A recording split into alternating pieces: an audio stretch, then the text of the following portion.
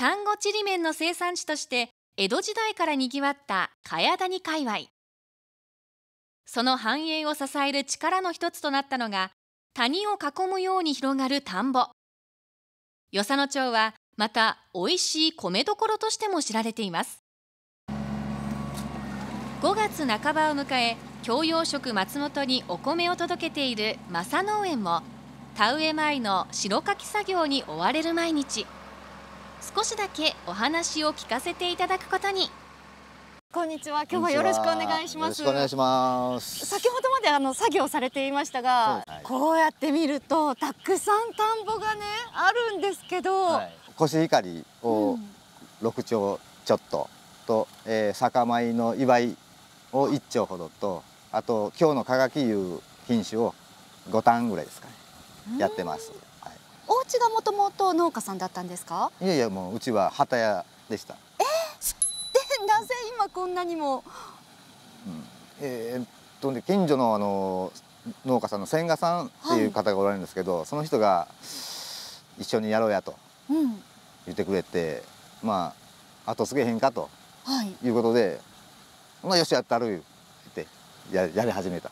でも何もかもが初めてで機械乗り方から、えー、何肥料のまき方もう全てが初めてなもんでもうどうして分かれへんしいろいろ教えてもらいながら現在に至っとるんですけど。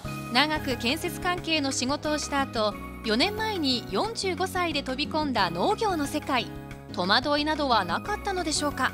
自分が手がけた米はこれはなんと美味しいんだと。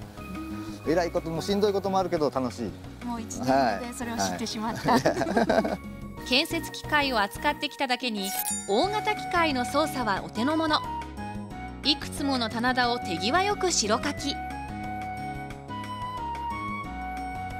急斜面の草刈りも機械を使ってこの通り。徹底的に草を刈ることで虫を寄せつけず安全で美味しいお米作りを目指しています。田植えを前に1分1秒でも惜しいという木村さん。急いで次の白かき場所へ走り去っていきました。正農園ではお米の他にもいろいろな作物を栽培。その一つがブランド野菜の九条ネギ。4年前農業を始める時に収益力のあるものをと手がけ始めたのだとか。田んぼが忙しい時期収穫や出荷は奥さんが一手に引き受けています。こんにちは。突然すいません。あの、はい、木村さんの奥さんですよね。はいそうです。ご主人にこちらで奥さんが頑張ってられるって聞いてあの来させていただいたんですけど、はい。はい、今年はどうですか？今年はね今年はまあまあまああのいいのができてるっては言ってもらってるんですけど。ご自身で作ったこの九条ネギ、うん、初めて食べた時っていかがでした？は嬉しいですよね自分で、うん、自分で作って自分で料理して食べるっていうところまでのこの流れができることが、うん、なんか自慢でもあります。今になったら。うん。ちりめんの織元に生まれ育ちご主人の一大決心で一緒に農業の世界に飛び込んだ由紀子さん。単に農産物を作るだけでなくいろんなことにチャレンジしたいと考えています。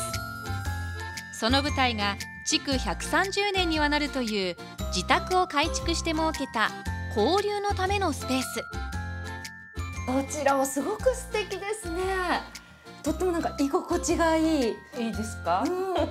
カフェが何かされてるってことですか？毎日はやってないんですけどお客さんとかに来てもらって、はい、ここで、はい、お茶飲んだり。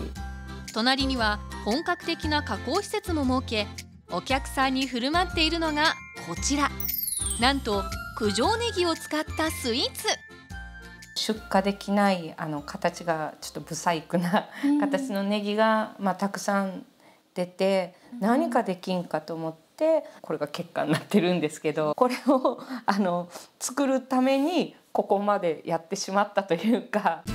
地元のスーパーなどにも出荷して大人気というお菓子。一体どんな味なのでしょ